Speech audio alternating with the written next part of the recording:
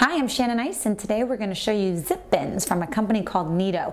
What's great about this is a mom who's constantly seeking better ways to organize myself. It is a carrying case for all things Hot Wheels, and you can see this one particularly is Hot Wheels branded, but this company makes a lot of great cases for Barbies and other great, great toy brands. But what's great about this is when you open it, um, very easy to unzip for young children.